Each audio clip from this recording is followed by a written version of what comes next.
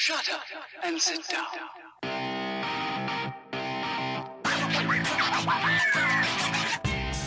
What's up, squids? We finally, finally have some Lucas Oil Pro Motocross National tracks to play on.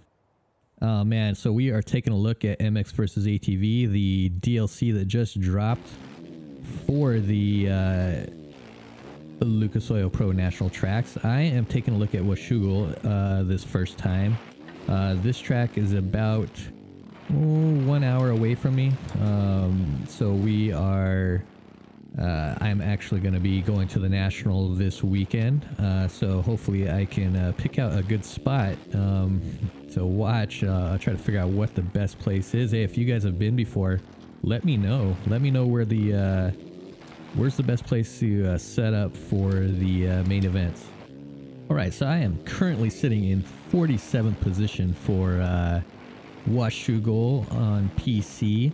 Um, looks like I'm right behind uh, Nick Gunzig uh, from uh, Gunzig Gaming. Take a look at his channel if you if you don't watch him already. He does some good challenges on Supercross, uh, MXGP, and uh, this game it looks like he's playing. I'm also a little bit behind uh, Yellow S2K. Um, I did see Kellen and Spencer Charlie and uh, who else did I see? Uh, down down below a little bit. I think they were in the 60s at the time of this filming. Uh, so I'm gonna see if I can at least pass Gunzig. I mean, we got to do that, right? Uh, so I've done a few laps on this track. I, I was I was leveling up my bike. Uh, you know, trying to uh, get the full upgrades on this 450, and I was able to do that. I had to do a lot of uh, races, and I I am running a competitive tune uh, per per if you, if you guys have watched uh, Guitar Daniel, that's another YouTuber. Take a look at him on his uh, commentary for uh, competitive and also realistic tunes. He lets you know how to set up your bike for a realistic tune to get a little bit more realistic gameplay.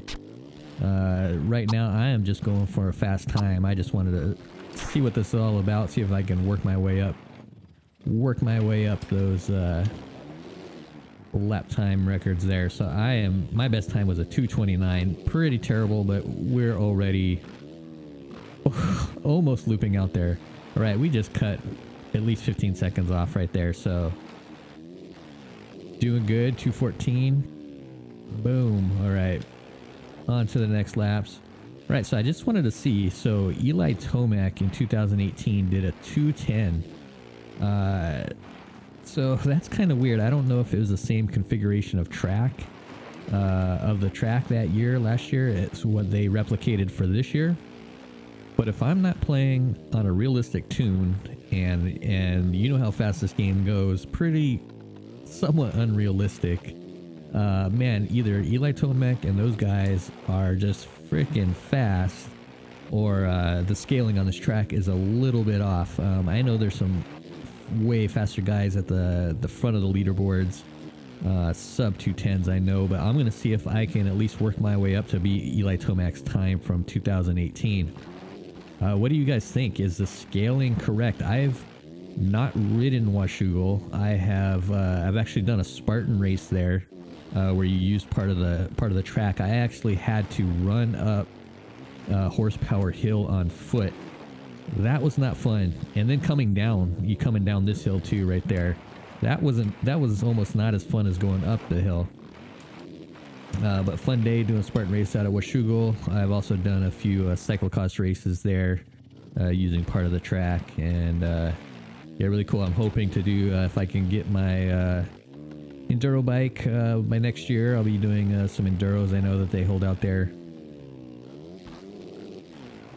But yeah, I think I'm I'm just guessing that the scaling is slightly off. I don't know, just just for the times that I've seen that people do and, and the way that you ride, not realistically. Uh, I do not think Eli Tomac and those guys are this fast. so I, I think they scaled it to work, you know, with their with their engine.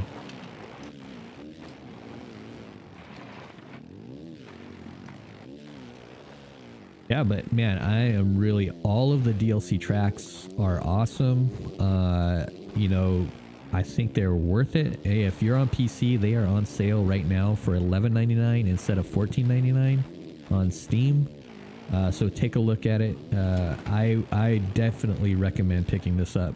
If you're a if you're a milestone guy only, you only play MXGP or Supercross, uh, man, you definitely want to check out these tracks. I think they have they have set the bar. Rainbow THQ Nordic has set the bar on what a replica track should be like, even if it didn't have the deformation, uh, Rainbow's deformation system.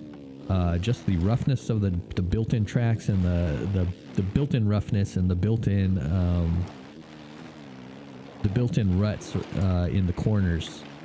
That alone is, I mean, milestone. You have to take notes on this. Uh, these all four tracks that that came out uh loretta, loretta lynn's is is pretty fun i like the the bigger national tracks better uh but i would say they are the best tracks that i have played in a motocross game. Uh mxgp i can't think of one track that i like some of the layouts in the tracks. There's some great ones in there um, in the mxgp series but the actual just the look of the track uh, the roughness, uh, the length of the track, uh, everything, the scaling, just really they hit it out of the park on these. And I wish and I hope that they can get the other six races from the the beginning of the year.